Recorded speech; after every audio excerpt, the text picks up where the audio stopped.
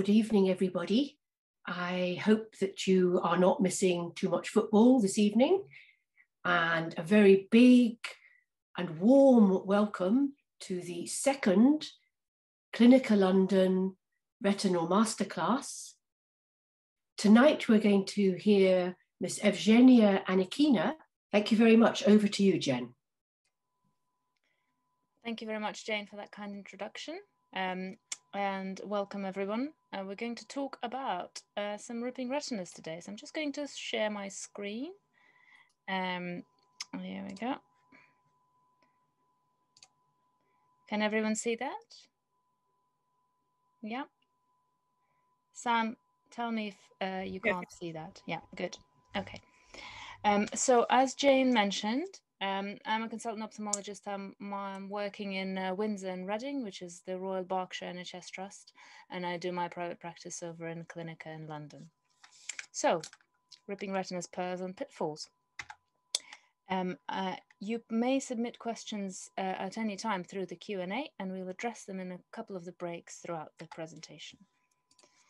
Um, so, uh, what are we going to cover today? First of all, uh, I want to do a brief overview of the anatomy because there's going to be wide variety of people joining and I want to, us all to be on the same page. I'm going to think about the warning symptoms and the urgency of review for anyone presenting uh, with a retinal detachment type symptom, key points in examining them, uh, retinal tears, uh, what we want to treat and how quickly we want to do it, uh, and what we can safely leave.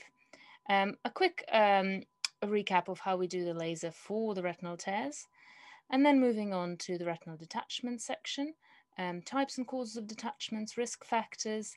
Um, I'm going to show you a surgical video. I'm not sure many of you have seen surgery, but um, it's probably helpful to see um, what happens. Um, a note on aftercare, and then a quick um, side about a detachment not being a detachment. Um, so what is a retinal detachment? A bit of anatomy. Here on the left, we've got a lovely uh, pathology specimen of the vitreous. And this is just to remind me to tell you that the vitreous is not just watery jelly. It's a structure. It's got lots of protein strands in it. Um, it's got a scaffold. Um, and that is the main problem with it. Um, and the retina is made up of many layers. Um, and this becomes relevant later on in the talk when I'm going to talk about the relevance of these. Of course, underlying everything is this retinal pigment epithelial layer, the pigmented layer, and then above that is the neurosensory retina with all the uh, cells that are picking up the light and transmitting the messages. So vitreous is not just a watery jelly. Um, the proteins inside uh, contribute to some firm adhesions between the retina um, and the jelly. It's useful before we're born. It helps the eye to form and it degenerates throughout life afterwards. And you get this posterior vitreous detachment, which you'll all be familiar with, uh, with this lovely Weiss ring that you see um, uh, floating above the optic nerve. Um, so here we come to our first question. So I'm going to go, so where is the vitreous attached most firmly? At the disc, at the macula, around the retinal blood vessels or at the ora serrata. And I'm just going to go to polling now. Uh, you should all have the live polling up on your screens. Feel free to vote. Tell me what you think. All will be revealed. So, going well, going well, going, going, going. Let's wait for a few more lagging behind on the votes. Don't think too much. All will be revealed. We're at 68% of votes. There's a few, I'm gonna give you one few more seconds. Few more seconds. Right, I'm gonna end that now and collect that now. So we've got at the Ora Serrata, is the winning vote and at the disc is the second. And I can see why people said that. Now, uh, the ora serrata was indeed correct. Uh, because of course, there we go. At the ora serrata, of course, um, is uh, where the vitreous never detaches, where it remains attached all the time. And here we've got lines of tension through the vitreous, and you can see that it firmly attaches here at the vitreous base, which is located at the ora serrata. At the disc is a reasonably firm attachment, which is what comes off as the Weiss ring, um, and around the blood vessels and at the macula are the other attachments. So hence the Weiss ring from where it comes off around the disc during a PVD, at the macula, hence you get vitreomacular traction from persistent traction.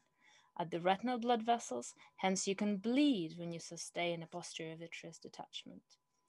And at the ora serrata, hence you get peripheral retinal tears because you can't separate the vitreous and the retina here. Um, these are some OCTs of the posterior hyaloid membrane, which is the back surface of the vitreous. Um, and you can see where it's attached around the blood vessels here and you can see it coming off the macula successfully. So um, a PVD happens in everyone, commonly in the between the 50s and the 70s. However, trauma, inflammation, genetics, a number of things can make it happen earlier. It tends to happen a bit earlier in myopes as well. You get this gradual lique liquefaction of the vitreous, it turning more watery instead of more jelly-like and the collagen fibers stick together, forming empty spaces and vacuoles inside the vitreous. And you get this sudden collapse. Now, I've put sudden in inverted commas because this um, can happen between hours to weeks. Um, and this is the reason that with PVD symptoms, we as ophthalmologists like to review patients a couple of weeks after the onset of symptoms so initially and a couple of weeks after, because in some people it can go on for several weeks and you can continue to develop retinal tears. So our next poll, what symptoms can indicate a retinal tear or detachment? Increase in floaters or new floaters, flashing lights, shadow in the vision, blurred vision, none of the above, or all of the above. So I'm just going to relaunch the poll for that question. Feel free to press your buttons.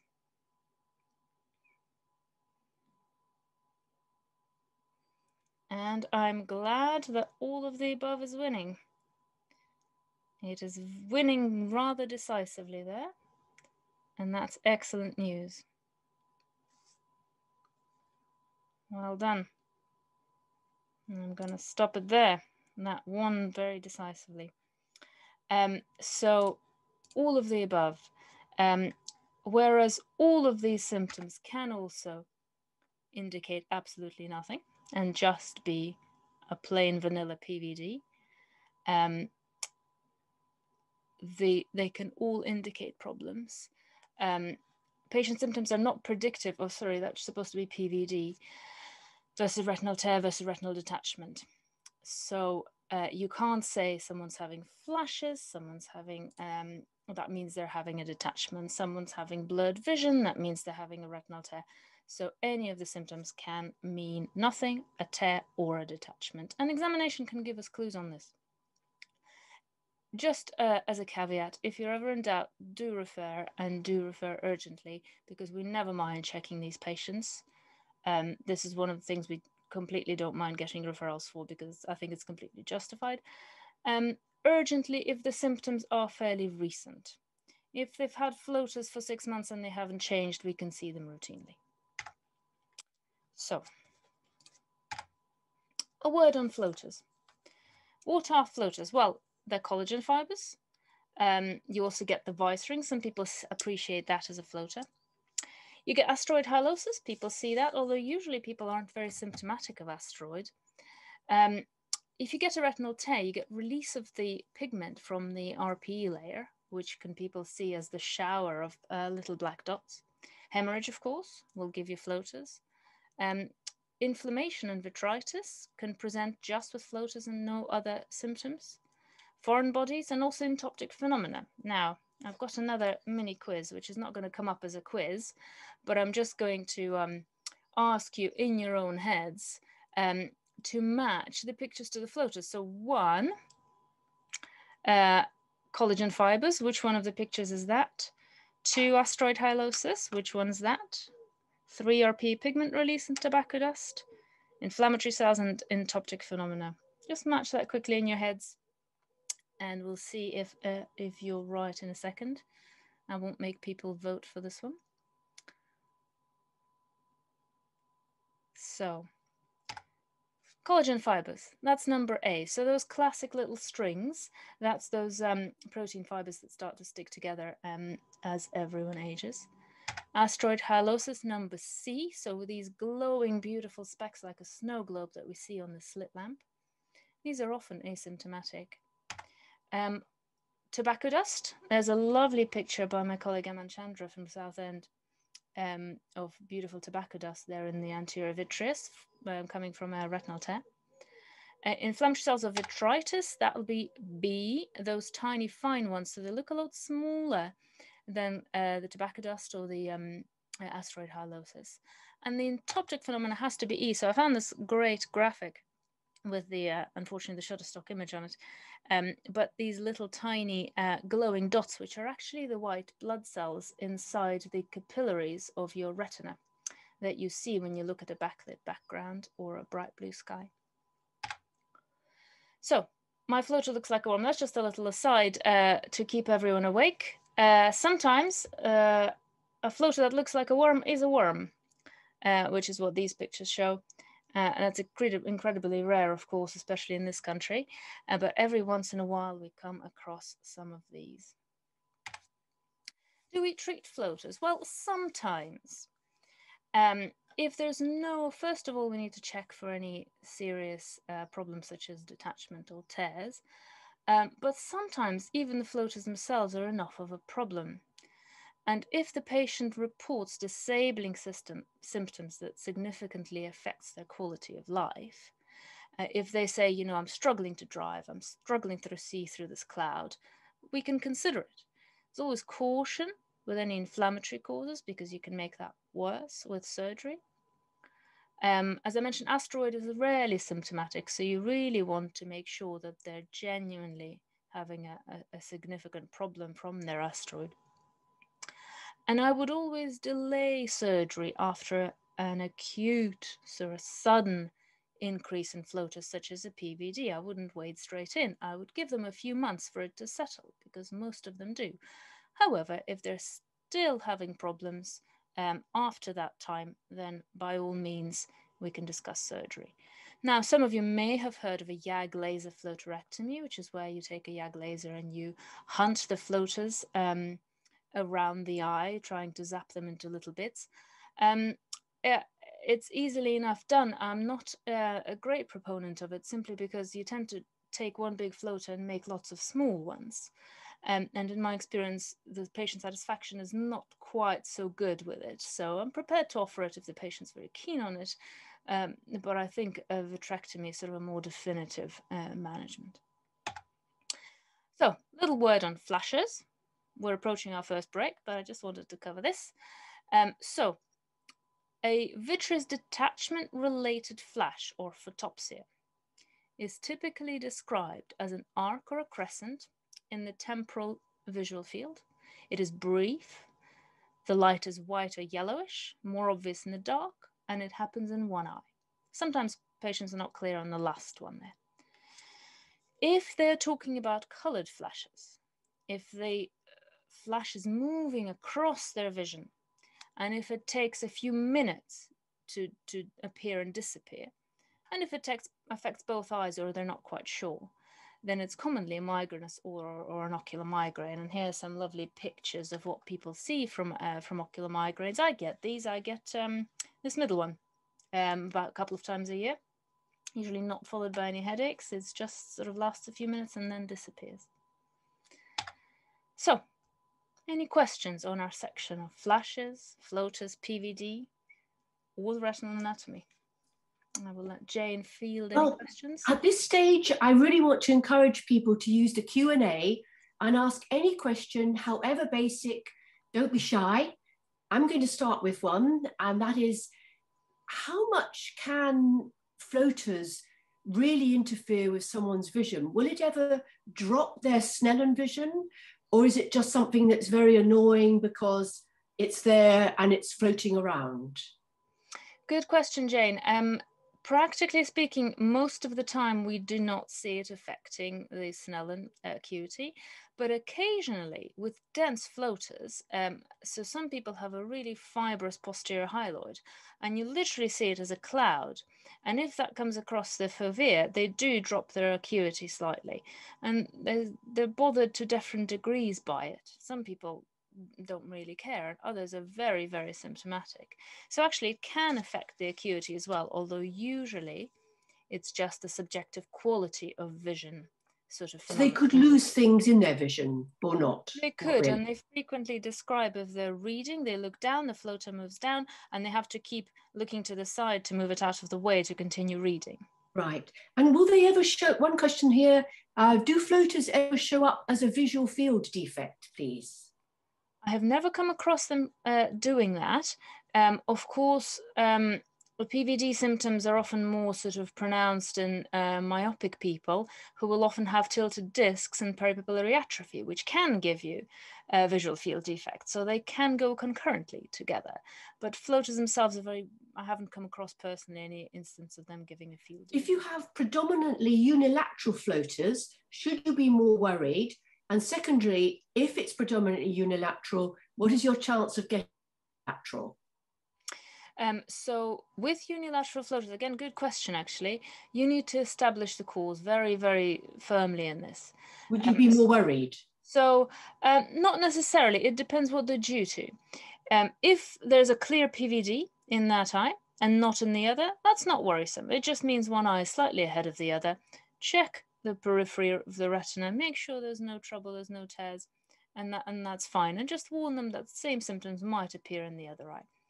If there's no PVD in that eye and the floaters are just there and you're not quite sure what they're due to, then you need to think about things like inflammatory causes, weird and wonderful, or maybe hemorrhage in the eye. Um, and this is when probably a referral is more justified because you need to, to look for the cause really a question here why do some ophthalmologists tell patients to use dry eye drops to help with their symptoms of floaters? I didn't know they did, but the question's there. Have you come across that, Jen? Well, probably because we like giving them out like candies, the dry eye drops. Um, uh, because I think because um, you're trying to optimize all of the sort of visual interfaces. So if they have floaters, you, you're trying to rule out uh, tear film instability uh, as a cause for their blurring. So I would particularly do this if they come to you compla- compa- um, complaining of episodic blurring. So the blur comes and then it goes and then it comes again. It's very difficult to actually pin down whether that's a floater or whether that's just dryness that's changing with blink frequency. So I would give them dry eye drops. And if the symptoms aren't changed, I'm thinking more of the back of the eye. That's fascinating. Thank you. One more question here. For a patient with new flashes or floaters, would it be sufficient to rule out a hole or tear with dilated Volk examination, or would the patient need indentation or three mirror examination to rule out a tear or hole? I guess we're going to hear a bit more of that later on in your talk, are we? Yes, but I will answer it now, and I guess this is one of those things of um, uh, a question is how how how good is the examiner, um, and how good is the lens as well. Uh, with a standard 90D, which is probably the most common one, um, you can't quite see all the way to the ora. So I would argue that you probably you can rule out major things because you're going to see a large tear because it'll extend far enough, and you're going to see hemorrhage and things but small breaks near the ora are very difficult to see with that lens. If you have a wide field, so I have a digital wide field lens, which gives you pretty much ora to ora view uh, with dynamic examination. And actually, I don't use um, contact lenses, and I very rarely use indirect, only in select cases. And I feel that it is enough to rule out pathology. Then one more question here. Do we need to refer patients with a Weiss ring? Um, so again, it's a sort of a risk stratification. I would say that if a patient presents to you with new symptoms of PVD, so that's all the things we talked about, so flashes, floaters, uh, a moving defect in their vision, and those symptoms are a few days up to maybe two or three weeks old, then absolutely do refer unless you're 100% certain that you've excluded a retinal tear. And few of us, I guess, are 100% certain that we've excluded a retinal tear.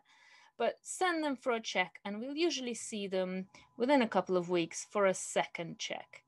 Um, and if I see a patient, for example, in the casualty department, who comes to us as a first presentation with those symptoms, I would book them into my clinic for a couple of weeks for a second check.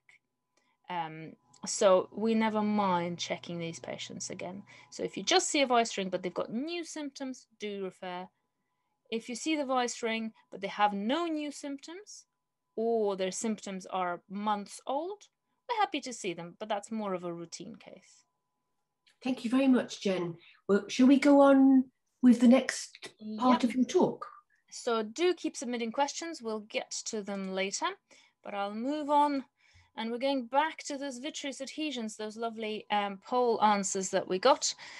Here's our diagram of the vitreous fibers again, attaching um, at the ciliary body at the ora serrata.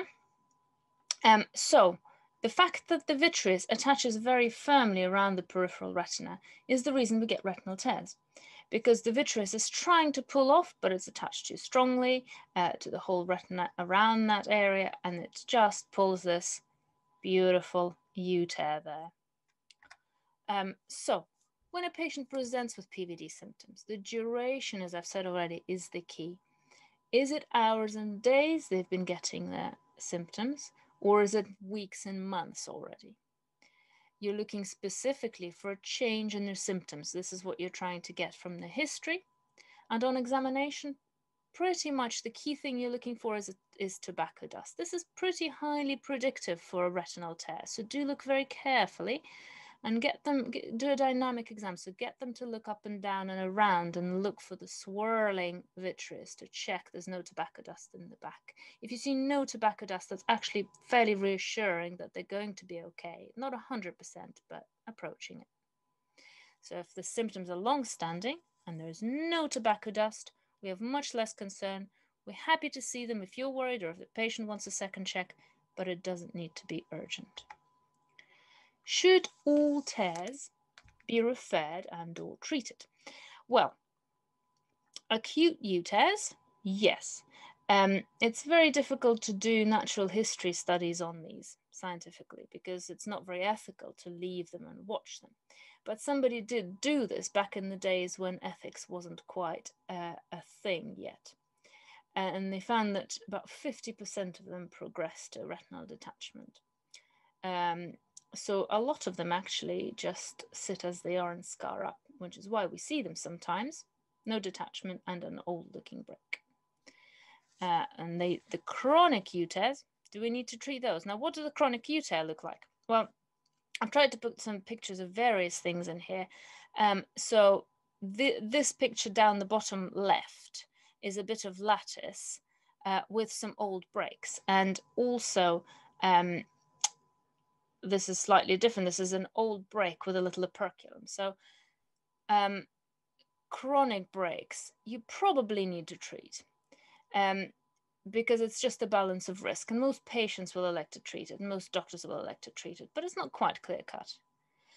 Now, fully operculated breaks. So that's where you get your U-tear and then the continued traction on the retina by the vitreous, literally just the valsus pulls off the flap of retina. So this is this fully operculated break. This may have been a round hole. This may have been a U-tear, which has just sort of rounded off um, with time because they do all become a bit round with time and you get this little operculum floating above this little bit of retina. Now, by definition, this has released the traction, released the pull on the edges of the break. So actually, that means that it's now lower risk uh, for developing detachment, uh, because if you release the pull, there's less chance of the retina coming away. Now, chronic round holes, so this, these two in the middle, do we need to laser those? Most people will actually leave them. You'll find people lasering them. Um, and my rule of thumb uh, is generally that if a patient presents with acute sudden symptoms of PVD and there's nothing to find in the eye at all except some round holes, I'll probably laser round holes. Uh, but if the round holes are an incidental finding and they're not having symptoms, I would leave them. And the reason for that is because laser is not 100% safe. Doing laser increases your chance of developing epiretinal membranes, um, causing problems from that. Um, it's not completely 100% safe. So how do we know the tear is acute? Um, so I said all acute breaks must be lasered. Well, it is all in the history again. How recent are the symptoms?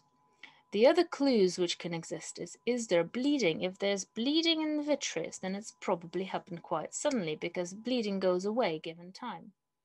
If there's also little retinal hemorrhages around the edges of the break, that's also a sign of an acute uh, problem. What can indicate chronicity, so the long-standing nature of a break that's been sat there for ages, if it's pigmented around the edges. So if we go back to our pictures, you can see pigment around that one, although that one I suspect is a, is a laser one. You can see a bit of pigment around this one. Uh, and this bottom right one is an acute one. There's no pigment, there's sort of no kind of um, tendency for it to, to stick down. Also, if it's got a little bit of fluid around it, the retina tends to thin out and become really transparent, almost like a retinoschisis, um, which also means that it's quite long standing. And also, if you look at an eye and they've got an epiretinal membrane and you see a retinal break, chances are that break is old because uh, breaks increase the chance of ERM formation and it takes time to form. So that's another little clue, which Conversely also means that if you spot an epiretinal membrane, always check the peripheral retina because they not infrequently have retinal breaks. So, little word on round holes. So here are three round holes. First one, this is a round hole. There's no obvious traction, no pull on the edges. Although actually recent OCT studies have shown that most peripheral round holes will have a bit of traction if you um, run the OCT scan through them and a little cough of surrounding subretinal fluid. Say you saw this, say the patient was without any problems, without symptoms, you can quite happily leave that. Very few of them lead to detachment. This is again a round hole, no obvious traction with pigmentation. This has been there a long, long time. This one you definitely leave. This is, you're very happy about this one. In this round hole, no obvious traction. Again, a bigger cuff of subretinal fluid, but you can see pigment all the way around the fluid. And this almost looks like a laser mark, and it's not. It's just the fact that this has sat there, this fluid, and has not progressed beyond the border. So this one is super long standing. So, treatment. How do we treat tears if we find them, or holes? We've got laser, and we've got cryo and those are our two main modalities. Vast majority will have lasers. So laser treatment takes a few minutes to do on a slit lamp laser or with an indirect laser option. You tend to use a contact lens um, because that improves your, um, your view. And it's relatively painless. Um, so the patient's discomfort comes from the glare of the bright light. So it's it's sort of um, ciliary spasm from from the glare. Um, the only other time it's painful is if you laser around three and nine o'clock in the retina where the nerves pass and you hit the nerve accidentally. Um, so that can be uncomfortable. And this is what it looks like. You put two, a couple of rows around the any fluid and retinal tear, and that's a beautiful laser which will take nicely. It's not 100% treatment, um, so it will not prevent a detachment in 100% of cases, but probably 99%. And that's a well done laser. Cryotherapy, so it actually takes less time, but you need to give anesthetic because it's more painful. Um, so you give a, usually give a little subconjunctival injection of anesthetic. And it also allows you to treat the tear in poorer view. So media opacity, cataract, hemorrhage, um, you can still see enough to be able to cryo, but laser will not go through media opacity.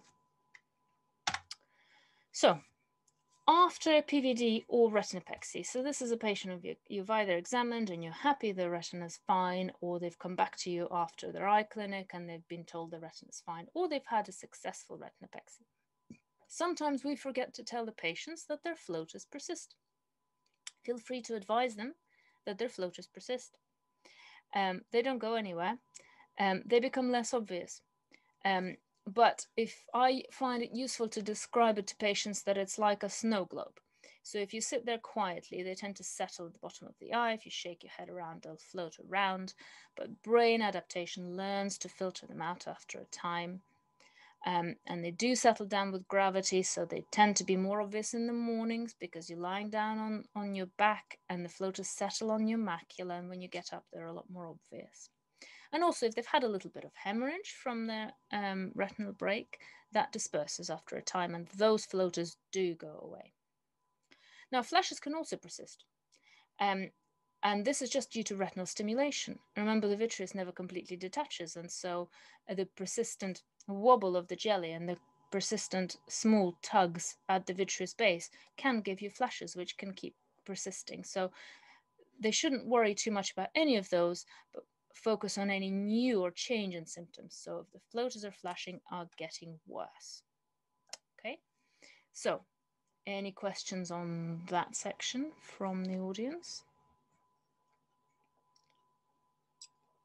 Does it relate partly to floaters and partly to the tear? It has a small immobile floater in the far periphery so if a patient is A, and then there's a gap symptomatic, but has a small immobile floater in the far periphery, should we refer? Not quite sure I can answer that one. Um, so uh, if the patient is symptomatic or hmm. asymptomatic, if well, I think it should be symptomatic. It, um, if the patient is symptomatic and the symptoms are recent, please do refer. If the patient is asymptomatic, so not having any problems, and you yourself notice a little floater, chances are that's either a vitreous strand or maybe a small operculum from a round hole. So in that case, we can see, but if, you, if you're not seeing a detachment, I'm happy to see that routinely. Great, thank you. What does white with pressure and white without pressure mean when investigating retinal tears? Yeah, so these are slightly confusing sort of archaic terms. They're descriptive really. Um, white with pressure is our normal state. If you press on the on any human tissue, you collapse the thin blood vessels in the tissue you're pressing. If you press on your skin, it becomes white, and you release the pressure, it's white for another second, and then it comes back to pink or uh, the the color uh, flushes. Um, but in the ret- and in the retina, the same thing happens. So if you press on the outside of the globe, you can blanch um, the retina slightly, and you can see that on an indented exam. And that's a normal state. Uh, white without pressure is when it looks like that without you doing anything to the eye. Um, so you more frequently find that in highly pigmented retinas, and it's just the peripheral feature where you get a sort of a demarcation line posteriorly to which the retina is fairly pig, or the, the RPE, I should say, is fairly pigmented, and anteriorly to that, it looks paler. And it's we know that it presents a slightly increased risk for developing retinal tears, uh, but we don't routinely continue monitoring that in clinic unless, like I say, they're developing symptoms. Should we peripheral holes? Uh, so, so um, which one was that? Sorry, Jane, you. Should we refer small round peripheral holes? So small round holes, again, this is sort of a little bit of a bone of contention because different surgeons will have different preferences on this. Um, I would say that if the patient has new symptoms, refer. If the patient is concerned and wants a check, refer. If you are concerned and want a check, refer. However, if you're quite happy that it's a retinal hole with pigment around it and the patient is asymptomatic, then it doesn't necessarily need to be seen because, as I said, they very rarely cause problems. But we're always happy to reassure if you need us to. A, a, general question, but of great importance how urgently do we need to refer these patients? So I think that means within a week, within two days, within a day. What's the timing of this, please? So I would say any acute symptoms of PVD that you want checking. Um, so the patient's presenting within hours, days, or maybe a couple of weeks of, of their symptoms. Um, well, ideally, I want to see them there and then. But uh, realistically, um, it depends if you're sending to an NHS clinic, we're going to see them within two weeks or ask them to come to a walk in casualty. Um, obviously, in the private setting, we can usually see them on that day or the next day. Um, if if they're more long-standing, then obviously, like I said, it's a more routine case. And then an interesting question here from David: How contact lens help you with laser therapy? So the contact lens, so with the bright flashes of the laser, so the the laser light itself is non-visible spectrum, uh, but the the um, well, it is actually it's it's sort of far green, um, but it's so bright that it promotes the uh, blink reflex and the startle reflex. And if you keep having to refocus on where you're lasering between each burn, it will take you hours. So a contact lens allows them to blink with the other eye, but the treated eye, the blink happens around the lens and doesn't disrupt your view. So you can do the laser within a few minutes. Thank you. One last question for this section. Sudden onset mobile spiders and cobwebs in your vision, but no flashes and no shadow or curtain. Refer question mark. Refer. Um, back at the beginning of the presentation, I was saying that any or all of these symptoms can mean any or all of the problems.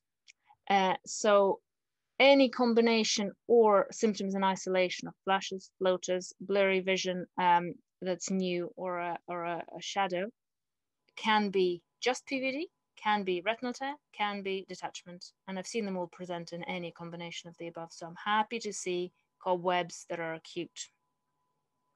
Thank you. We'll move on. Okay, so we'll move on. Um, so when retinal tears progress, this is, we're getting to the more exciting stuff now. Um, so they may progress straight to detachment. So the patient comes into you, they've already got their detachment, they, they either ignore their floaters, didn't notice them, or it progressed quickly, um, that they're already there.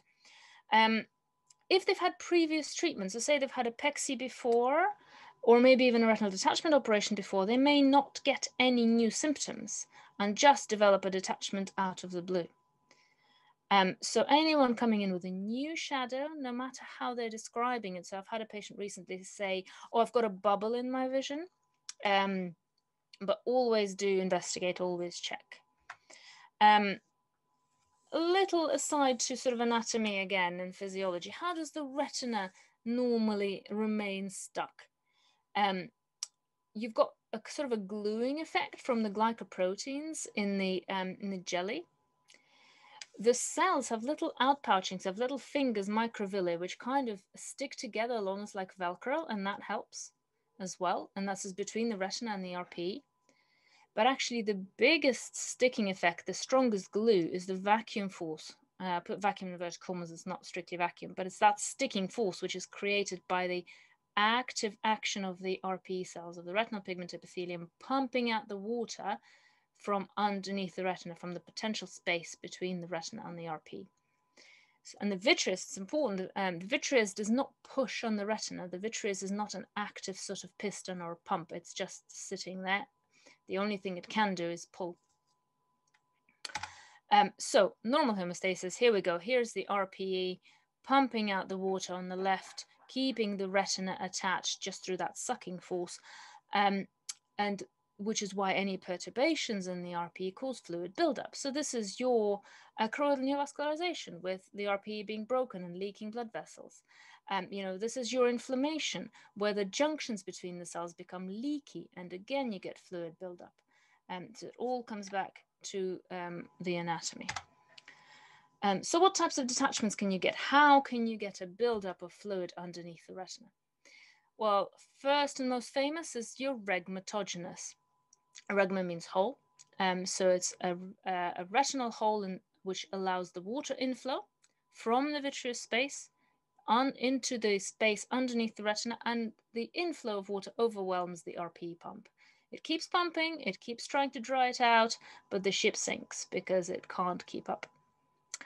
Then you have the exudative detachments, and this is uh, where you have a, a, leaky RPE, sorry, RPE, not PRE, um, so the pump is uh, somehow defective.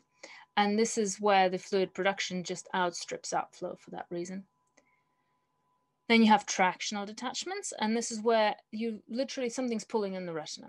So this is either proliferative vitreoretinopathy, so fibrosis because of a retinal breakout detachment, or the fibrosis you get in diabetic disease, and it's literally pulling the retina up and it's overwhelming the, the all the sticking forces. Um, and there's no brakes, um, but it keeps pulling. And then you get the combined, which is where you get the several mechanisms together. Most typically, it's the tractional rhegmatogenous. So it's a, the pull, and the pull also generates a break in the retina, at which point the whole thing becomes much more unstable and progresses faster. You also get schisis detachments. So, what do you need for retinal detachment? For a typical rhegmatogenous retinal detachment, you need a hole and you need traction. This is why round holes rarely produce detachments because they have a little bit of traction on them, but not very much at all. There's nothing lifting the edges of the hole. And so the fluid doesn't want to go through it. Uh, according to Poiseuille's law, it's not going to go through that small break unless it's being helped by the hole edges being elevated. So this little graphic, I thought that was very nice with the, um, the pull uh, of the vitreous that comes away during a PVD being demonstrated. How urgent is fixing a detachment? Well, again, you're coming back to, is it new or is it old? And you need to be guided by patient symptoms.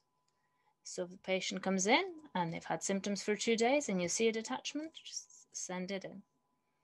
Um, macula on or off, obviously. Um, so macula on, we would like to try uh, an acute macula on. So a macula on detachment that's just happened, we would want to fix within 24 hours. That's the guidelines, and that's what we try to stick to. There are some caveats with that, but that's sort of more for, for us to decide uh, clinically. But that's the general rule. Once the macula is off, you still want to fix it quickly, but you've got days or weeks to play with, in which case you don't get visual deterioration. Um, now, what are the prognostic factors for the detachment getting worse and progress progressing? This is the sort of caveats we look at when deciding on urgency. So, location of the detachment. If the detachment's at the top of the retina, it's going to progress faster because gravity helps it get worse. So, an inferior detachment we might sit on for a little while and operate at a more leisurely pace. You look for these called watermarks, so pigment edges to the detachment, which can indicate chronicity, so long-standing nature of the detachment. And also what we always want to know is whether the break in the retina is a U-tear, so one of these acute PVD related things, or a round hole. And round hole detachments, this is your typical myopic young patient who has no symptoms. You look in their eye, they've got a detachment, there's a round hole in it, they're not aware of a problem. Um, and you know these ones are the ones um, that tend to progress very slowly, if at all.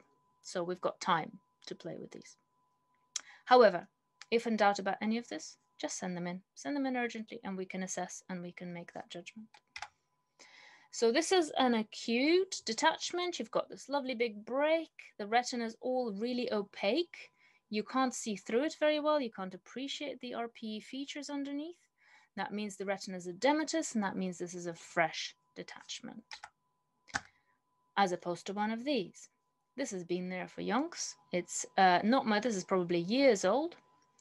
Uh, the arrows indicate lattice with a few little holes in it.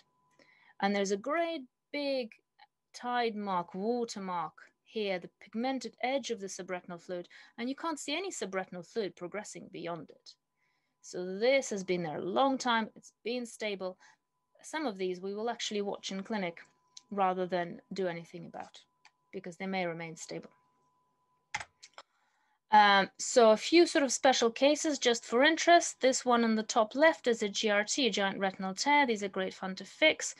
Um, they are more likely to happen in myopes, people with lattice degeneration. So the whole retina just unzips along the edge and in order for a retinal break to qualify as a GRT, has to be at least three clock hours of retina. And they require slightly more sort of specialized surgery to fix. Uh, and these ones, this is a dialysis. So this is where the retina, where you get that strong adhesion uh, of the vitreous around the ora serrata, the vitreous base, the retina just unzips at the vitreous base. These are often traumatic.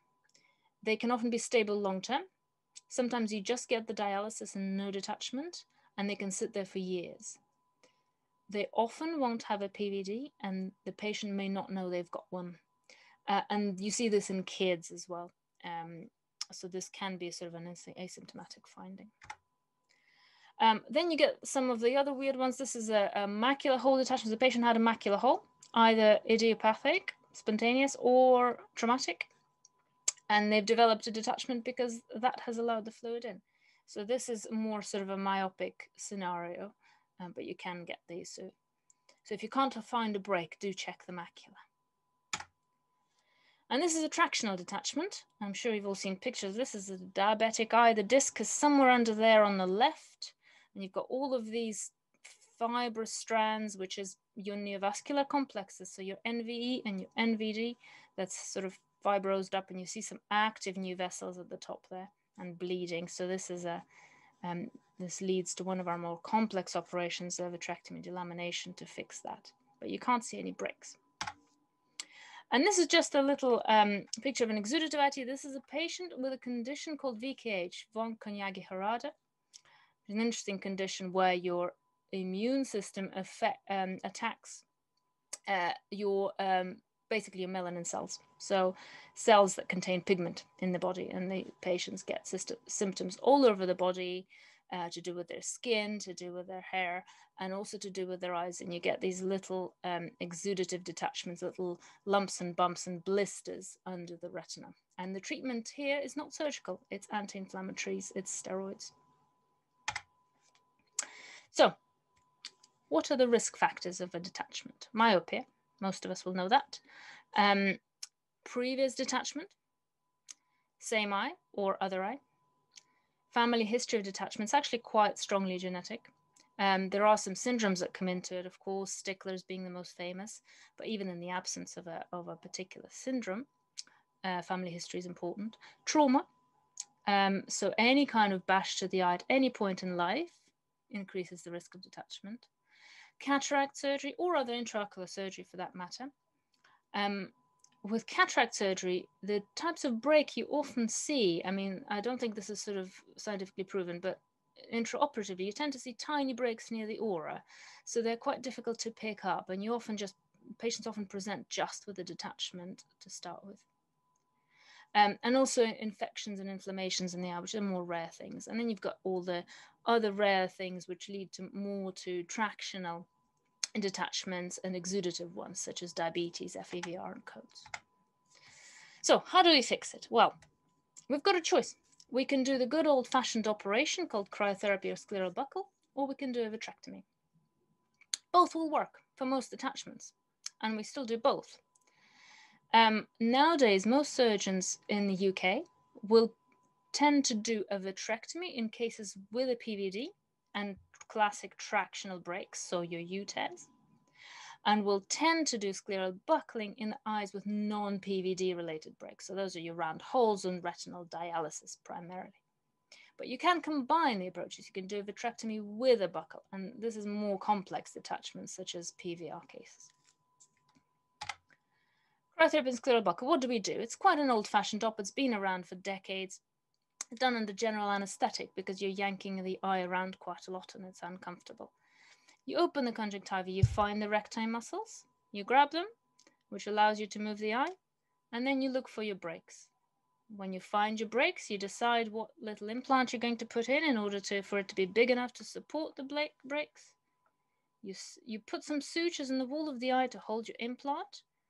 Then you do cryotherapy to treat the retinal breaks that you found and then you tie your explant, your rubber tire, well, your silicon tire firmly down so that it creates an indent in the eye wall. And what that does is it changes the vectors of the tractional forces. It redistributes them so that the pull on the brake is reduced and you've frozen it so it's going to stick back down to the RPE and hopefully the attachment will be fixed. You make sure the pressure is all right at the end, uh, the pressure in the eye. Check all as well, check the um, that the central retinal artery is perfused. Sometimes we will drain the fluid, but a lot of the time we won't. Sometimes we'll put a bubble of air in, but a lot of the time we won't.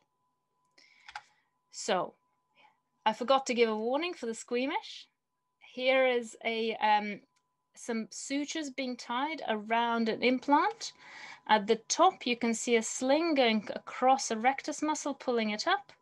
We're tying down the implant, which is around the outside wall of the eye.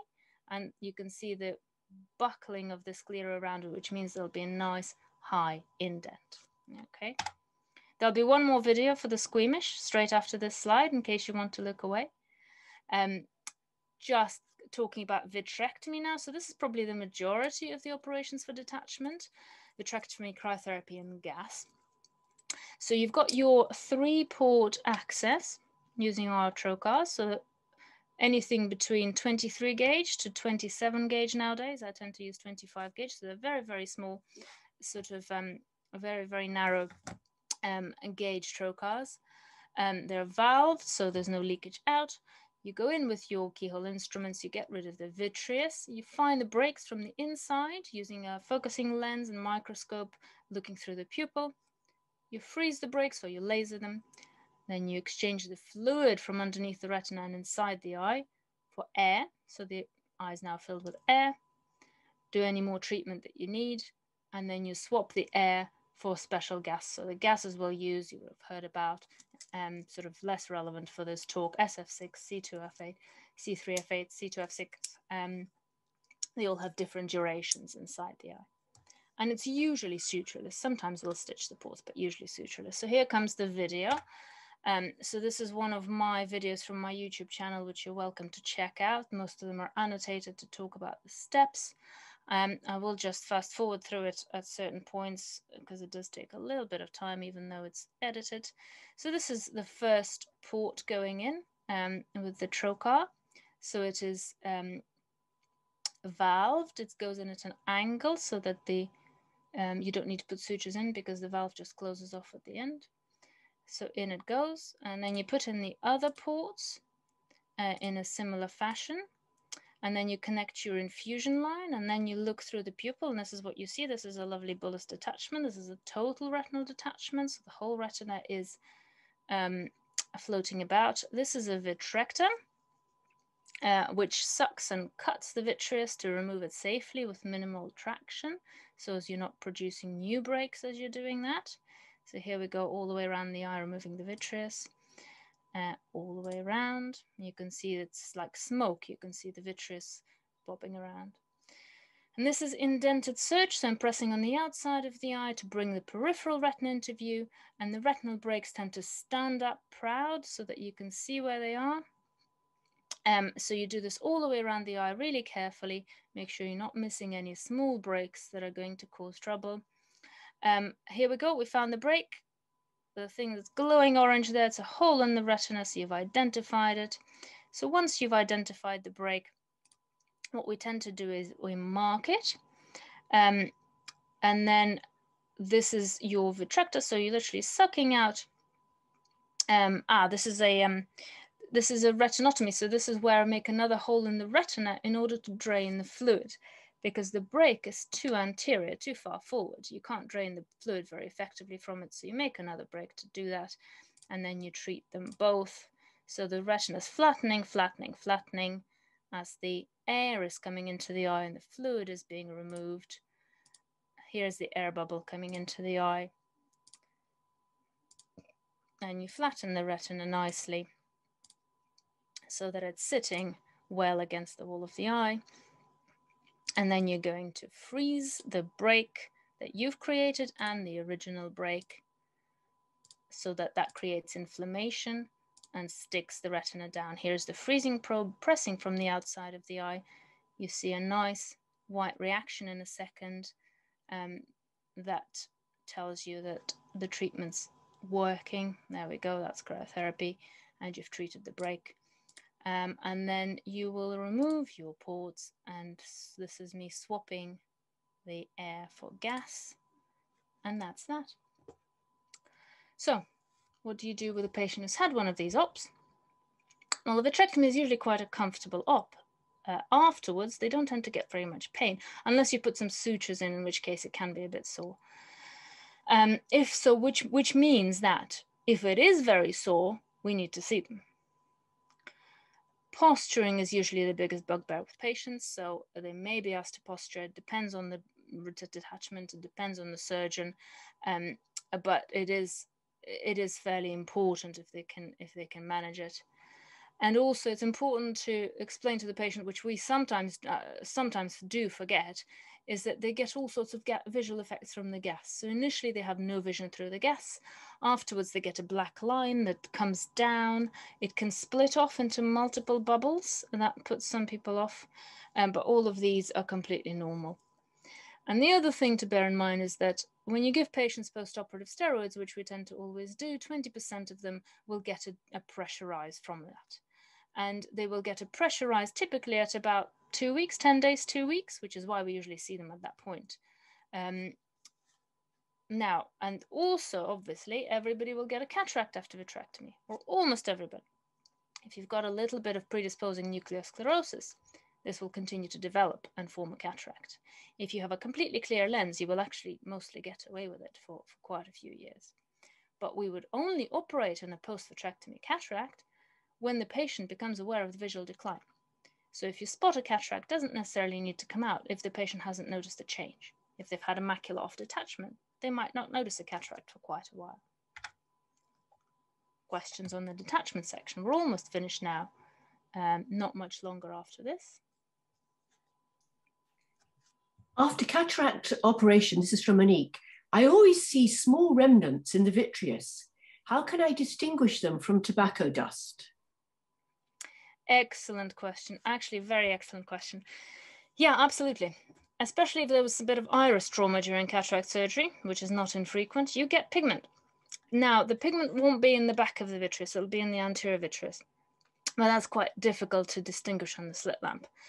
Um, I would say that if the patients had intraocular surgery um, and they're and this is an incidental finding of pigment, so they're not sort of aware of any change in symptoms. I'd be a little bit more relaxed about it. I would absolutely check the peripheral retina, but if you can't see anything obvious, just be a bit more relaxed about it. Perhaps, uh, you know, if you want to double check, refer them in routinely, or the most important thing is to give the patient a really good warning of retinal detachment symptoms. Because if after cataract surgery they have one of these tiny little retinal breaks right near the ora, you may not be able to spot it, I may not be able to spot it, but if the patient knows that they start to get a shadow, they come in straight away, we can still keep them MAC on a lot of the time. That leads in very nicely to the next question. What kind of physical activity might speed or, or even slow down a hole into a full tear? What to avoid if suspected? Another very good question. And this is actually this is actually like a personal interest of mine.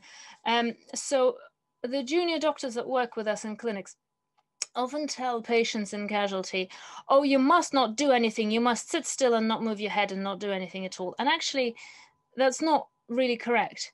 If you think about it mechanistically, if you think about what's happening, what do we need for a detachment? We need a hole and we need traction. We need two things. We've got the hole already. You can't change that. The traction is what matters. What is going to increase the traction? Well, really sudden jerks of the vitreous. So you can imagine it's going to pull more. So anything that causes a rapid acceleration or deceleration, which is why we're not so keen on the bungee jumping in these patients. Ordinary standard exercise, a sort of a casual jog or housework, I mean, it depends how vigorous you are with your housework, is not going to really do anything. But I would, I usually advise patients to avoid thing, contact sports, boxing or a lot of rugby, or rapid deceleration events such as um, your bungee jumping. Everything else is mostly okay. From Anonymous, patient presented with symptoms of black dots in vision from time to time, together with a streak of white light in the temporal field of the left eye, but only noticed when going up and down the stairs. Any thoughts on this? Dilated examination showed no breaks. So this sounds like a PVD related symptom. So peripheral white light and little dots. If you can't see anything and they keep getting it and keep getting it, I would quite happily check that. Again, I don't think you need to sort of rush them in that day, but I would quite happily check that just to be extra sure there's nothing going on. And it maybe it's just PVD, and probably it's just PVD. How important is lattice degeneration in the risk of detachment?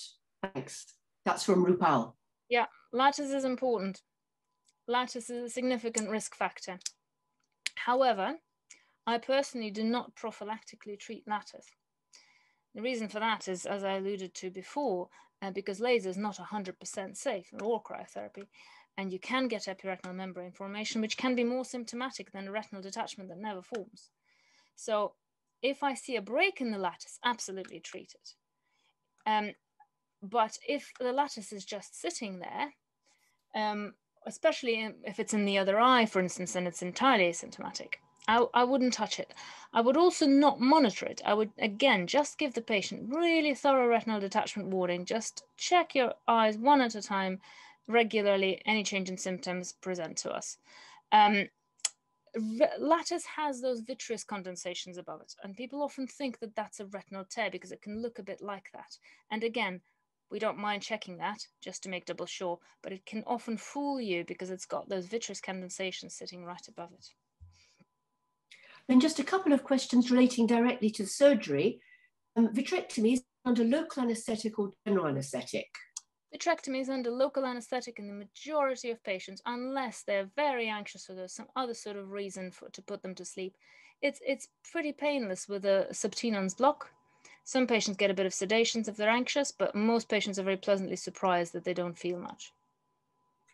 You've already talked about the risk of cataract after vitreoretinal surgery, after vitrectomy. Do you ever take the lens out at the same time as doing the vitrectomy? Yeah, so I would take the lens out at the same time, do a phaco-vitrectomy if I cannot see. So right. if the view is impeded enough by the cataract to stop you accurately locating the breaks. Um, or of course, if there's any incidental lens trauma during vitrectomy, which is actually pretty rare. Um, and then would you do a secondary intraocular lens implant later? Correct, yeah. The, the other reason for that is because if you combine cataract and vitrectomy surgery, they do get more inflammation afterwards. And this is quite clearly shown. I give them a lot more steroids afterwards if they've had combined surgery. So actually a staged procedure, paradoxically, is often kinder to the eye. So I tend to split it um, if possible. And then a couple of very short questions on the aftermath of retinal detachment. Um, much and is there any macular distortion post-retinal detachment if the macula's been off? Is that a problem? Uh, sorry. Um, the first one is double vision after detachment. See that. So the double vision after detachment is much more of an issue with scleral buckles. Here you pretty much expect them to get double vision if you've done a good buckle. And that's to do with the muscle, muscle disruption and the change in eye position. In buckling surgery, that tends to settle, but it does take a few months. So you warn them about that during the consent process. It's very rare to get that after vitrectomy, and that mostly relates to lens changes, but also if you've got uh, if you've had a, a, macular off detachment, you get the retinal shift because the retina ah, comes away you. and it stretches, doesn't quite sit down in the same spot, and some people can get double vision from that, and that's a, that's really tricky because you can't really fix that with prisms because the shift is not orthogonal. It's it's sort of a twist and a shift, and, and it's very tricky to manage sometimes. Okay, there's a, a few more questions. Would you mind taking two? Yeah, sure. How to differentiate retinal detachment schisis effectively? We're going to get to that. I'm going to hang okay. And then the next one, the pivot trial showed reduced retinal detachment. Do you think it will be adopted more in the UK? That's from Stan.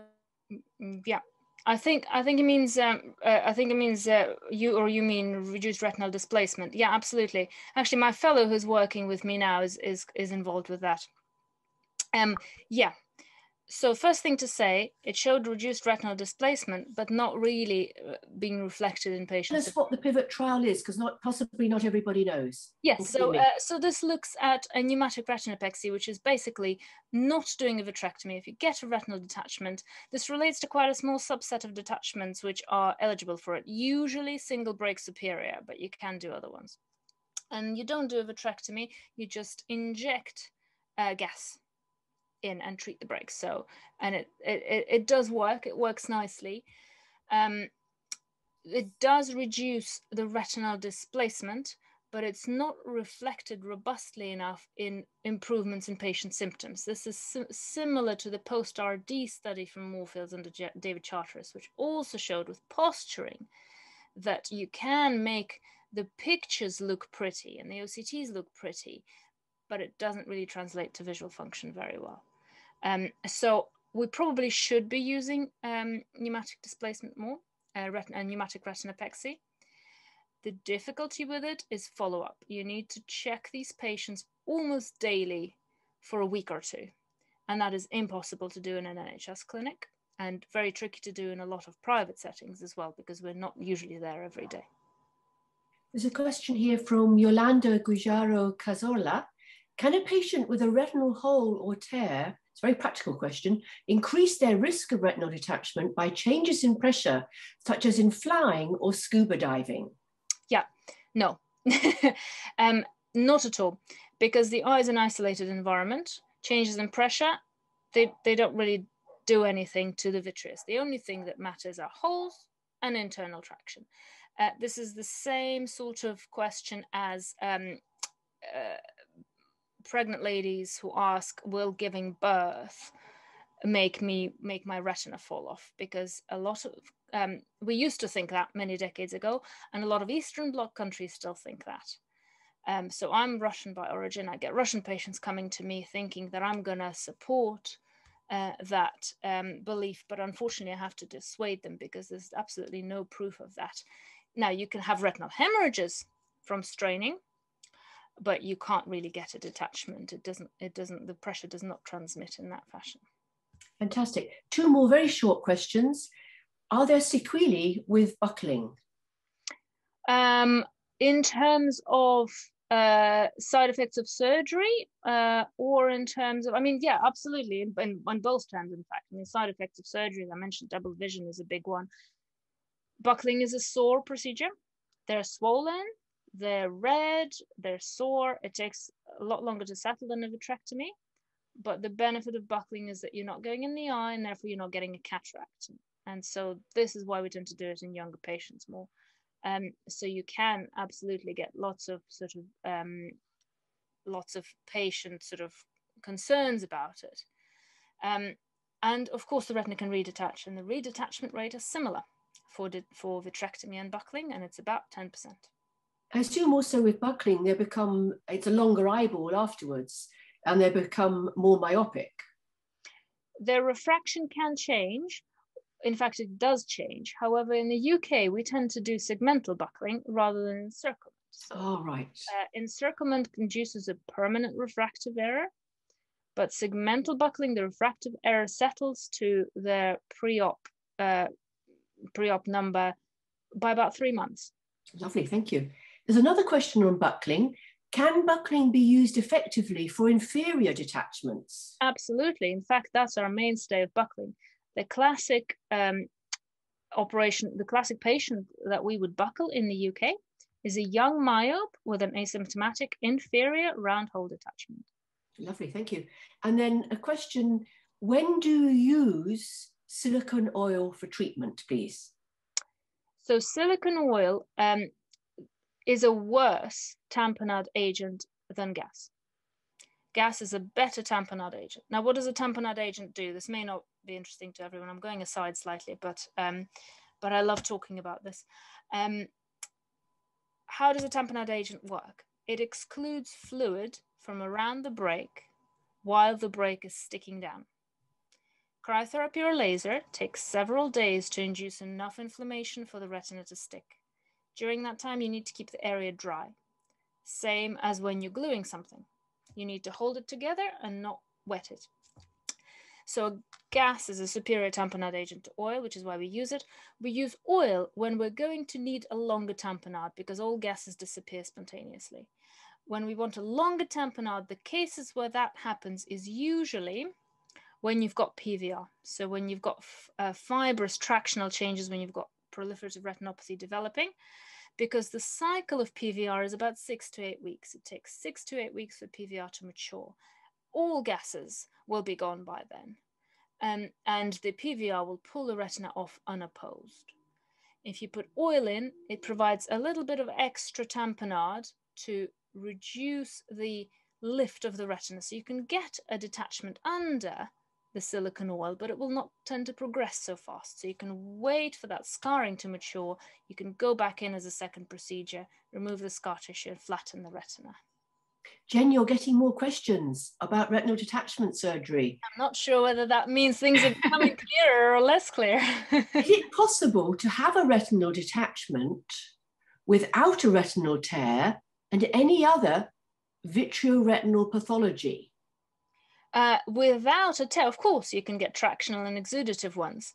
Um, if you see a detachment and you can't find a break, chances are there is a break, but it's very small.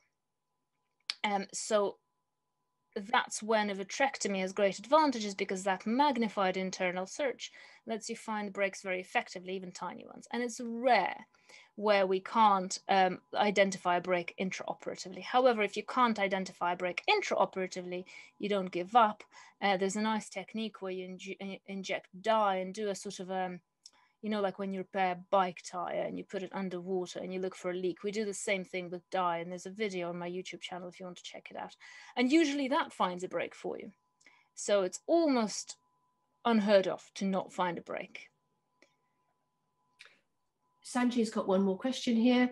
Do you find that heavy liquids can reduce the incidence of macular folds? So yeah, I know I know what you're getting at here. So um, heavy liquids are lovely. So this is PFCL, perfluorocarbons. We use them to flatten the retina out.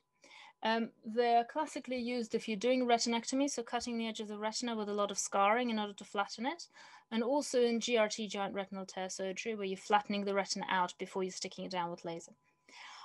Some places, for example, in Italy, they use it routinely in all detachments in order to exclude all the fluid from under the retina.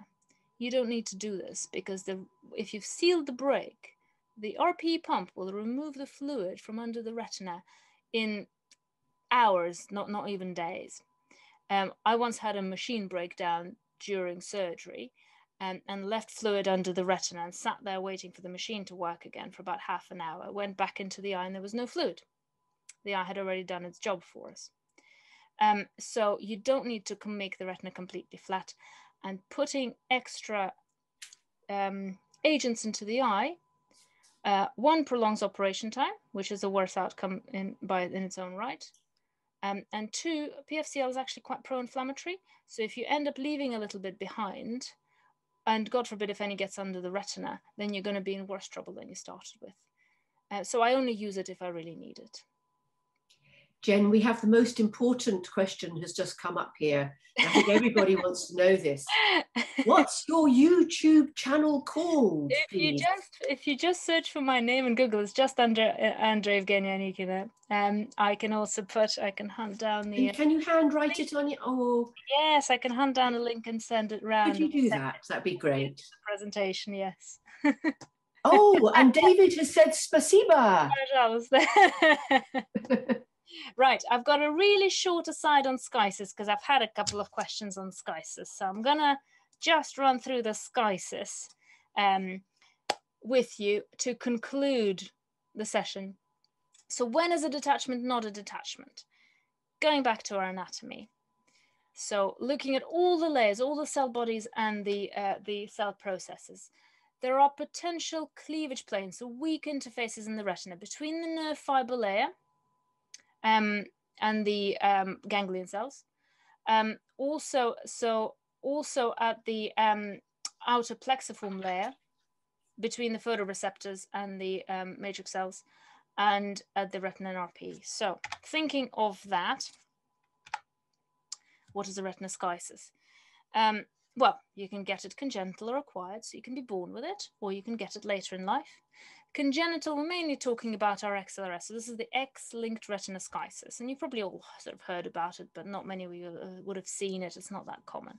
The split here is in the ganglion cell layer, so it is uh, basically in the um, uh, inner layer of the retina.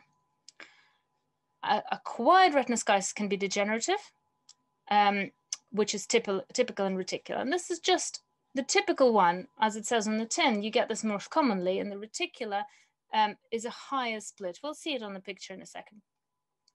This just has sort of prognostic factors for us rather than diagnostic uh, sort of um, factors for you. And you can also get secondary, so you can get schisis because of something. You can get it because you have a large staphyloma, like a high myope, and you develop an epiretinal membrane, which starts to split your retina uh, at the macula just because of the tractional forces. You can get because of it because of disc pit maculopathy and leakage from the disc pit, and you get tractional schisis such as in diabetics and the pull of the fibrous tissue splitting the retina. So just looking a little bit into the degenerative retinoschisis, the typical degenerative, you get a thicker inner leaf because the split is in that mid layer of the retina. It is common, it's bilateral in over 80%, and it usually affects infratemporal retinal quadrants. So this is the kind of typical thing you'll see. If you find something that looks a bit like a detachment, but it's in the infratemporal quadrant, check the other eye. And if they've got another one there, you can actually usually relax about it. The reticular schisis, you get a really thin leaf. It splits just below the nerve fiber layer. It's more rare, more rarely bilateral. And this is also the type that you get in this XLRS. So this is slightly more worrisome because XLRS can be progressive. How do you tell? Well, is it a detachment? Is it a schisis? Is it bilateral? You can get bilateral detachments, absolutely, but it's more likely to be a schisis if it's bilateral. They're often asymptomatic. So are they having symptoms? No, more likely to be a schisis. Hypermetropes. I was told when I was training never diagnose, never diagnose a retinoschisis in a myope. And I've tried to stick to that, unless it's a special case such as the staphyloma, the, the fovea schisis. So hypermetropes with bilateral bubbles in the infratemporal quadrants who are asymptomatic. Um, they get this, this sort of described complete scotoma. Now this is a little bit of a red herring. So this is where you make your slit lamp light with the Volk lens, really, really tiny, a tiny dot, and you move it gradually from flat retina into the bubble. And you ask the patient to tell you as soon as the light disappears. And if they tell you that the light has, has disappeared just as you cross into the schisis area, that's a complete scotoma. So they still, if, if it's a detachment, they'll tell to, they tend to still see the light, although it's a bit more diffuse. This is a red, a little bit of a red herring because a really chronic detachment has been there a long time, they'll get a complete scotoma as well. Now, OCT, this is kind of obvious. Nowadays, we've all got OCT, right? A lot of us have OCT. Scan the thing, get them to look off center and do an OCT cut through the area. And you will see, you will see that the outer retina is still stuck down to the RPE, but there's a big cavity in the middle where the schisis cavity is. Can a schisis progress? Yeah, the degenerative, the common type, is usually stable, but myopic foveoschisis, which is this picture on the right, absolutely can progress. Unfortunately, if it progresses, there's not too much we can do, but if it gets very bad, we can offer surgery. Um, or if it develops a concurrent detachment. And this is a lovely picture of a schisis detachment. This outer, retin outer retinal break, outer leaf break, is a break in just the outer layers of the retina, not the inner layers. And these can be present and they're sitting there nicely and stable the, the whole life. And then you develop an inner leaf break. And suddenly you've got communication all the way through the retina and you get a detachment concurrent with the schisis. And these are unstable and these do need surgery. More schisis reading. This was an article I published um, with Paul Sullivan uh, looking into schisis. So you can access that. We can send you the link which goes into a little bit more detail. Um, little word on vitreous hemorrhage as well. This is when a detachment, not a detachment. So if this happens in a diabetic patient, it's not particularly urgent. We want to see them in a few weeks, but if you can see, if you can rule out a retinal detachment, sort of, you just wait for it to settle a lot of the time. In anyone else who getting a vitreous hemorrhage it's an emergency. And by emergency, I mean same day. I treat these the same as I do my macula on retinal detachments. So if the retinal view is good and you can't see any problem, there's just a bit of blood floating around, you can wait, but I would rather that that waiter was me uh, who can watch and wait and make decisions on it. If there's no retinal view, they need an ultrasound, they need to come under us. Um, if the ultrasound is normal, I still treat these as macula on detachments because you cannot exclude retinal tears on ultrasound. There can be one hiding, you can brew a detachment under the hemorrhage. Now, sometimes an ultrasound can show a submacular bleed. This is also urgent because nowadays, if this has happened within a, a week or two, we can get we can do pneumatic displacement and TPA, so a clot busting drug, bubble of gas, try to shift the hemorrhage away from the fovea before it becomes fibrotic and drops the vision permanently. So these are also urgent. This is why any vitreous hemorrhage, especially in the retinal view, is urgent same day. Quiz time. Five questions. I'm going to go to the polls. So, uh, here we go. Which of the following is not a type of retinal detachment? Answers on a postcard. This is where I see who's been listening. Most people have been listening. Very good. Some people always do fall asleep, that's all right. It's been a long talk. It's been a long day.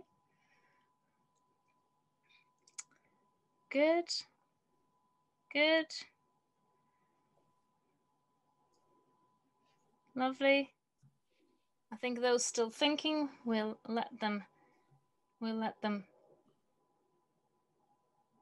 think a bit more. All right, I'm gonna end that now and I'm gonna take that. Most people were correct. Exfoliative is not a detachment. So let's have that. Let's go to the polls again. And let's go to question four. Here we go. In PVD related flashes of photopsia, which of the following is not true? Sorry. There we go. You may vote at liberty.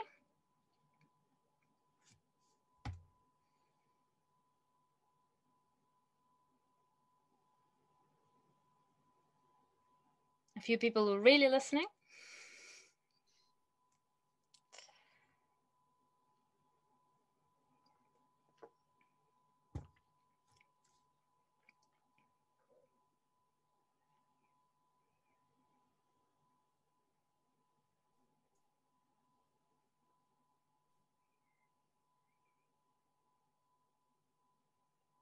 Causing a little bit more thinking this one. I like it.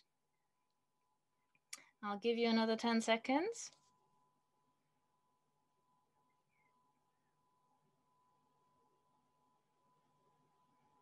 Okay, I think we'll... Uh... Oh, a few more people, last minute decisions. Good, we'll end it there. So, um, flashes occur in the center of the vision. So, in PVD related flashes, they are often arced crescent shape in the temporal field. They're usually very brief. They're often white or off-white, and they happen in one eye. Though some people are a bit confused about where they see them, but but if you if you sort of drill down into it, it is one eye. They're not in the center. They're usually temporal. If someone's talking about central flashes, just make sure they haven't got other symptoms which sound like ocular migraine. So, uh, next question. Which of the following requires urgent treatment? In other words, which of these is acute?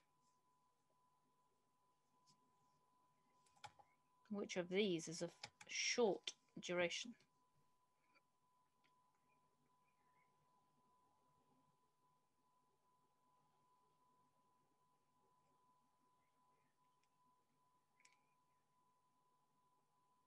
Good. Good. Okay, people seem fairly sure of that. So I'm going to end that. Yeah, absolutely. Retinal tear, U tear, um, which is a tractional event with some bleeding around the retinal edge. So that's another acute sign. All the others are fairly chronic in nature. So fully operculated retinal hole. So you've avulsed the traction, six month history. You might want to think about treating it, but most people would leave it. But a tear you would treat.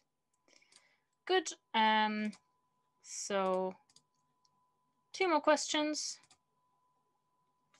Which of the following is not a risk factor for rhegmatogenous detachment?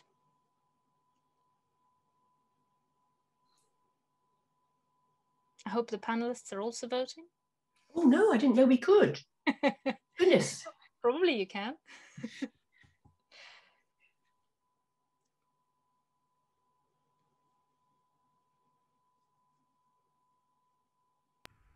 I'm just watching, Jen. it's all right, uh, Sam. I'll forgive you. Although you you you probably would have learned all about this if you'd listened to the talk. So I there we it very interesting. Thank you. Good. So again, people are fairly sure. I'm glad to see. Good. Good. So I'm going to end that one there. Of course, hypermetropia is not a risk factor. Myopia is. Um, all the others are risk factors uh, for retinal detachment. And final question. Here we go. Which of the following facts about retinoschisis is true? Is there just one answer or can there be more than one? Uh, Well, it can only be one, can't there? there's yeah, We could uh, only answer on one, yeah. Yeah. there's only one. Yeah. This is the toughest one. Mm-hmm. Gotta keep people on their toes. Absolutely.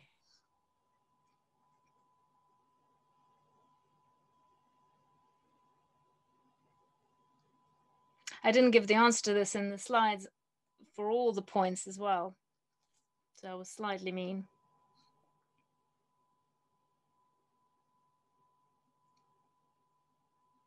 Ah, this is very, very split, this one. Very good.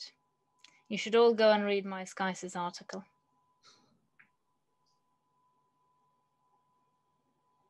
Good, I'm gonna end that and then I'll go through it. So the word retinoschisis means split retina rather than lid. So um, is a split. It's like um, uh, schizophrenia, split personality. Um, degenerative retinoschisis is frequently found in both eyes. Over 80% of them are bilateral. Schisis can progress to detachment. That is the true one. It can do, although it's rare, but it can do. Retinoschisis classically produces a complete scotoma. So because you're splitting the layers of the retina, you're severing the connections between the photoreceptors and the nerve fiber layer.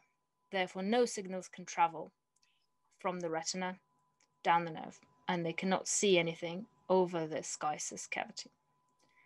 And retinal retinoschisis always requires treatment? No, rarely. Only if it progresses to retinal detachment or you get a myopic fovea schisis. So there we go. Uh, that completes our poll. So I'll just run through. I had these questions on here. Thank you very much for your attention, everybody. Uh, those are our contact details at Clinica London, uh, where we're to be found. And I will also just hunt down my link. Let me stop screen share.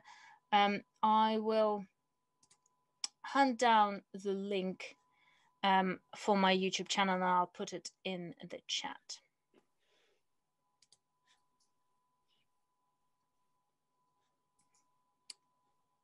Any other questions in the meantime?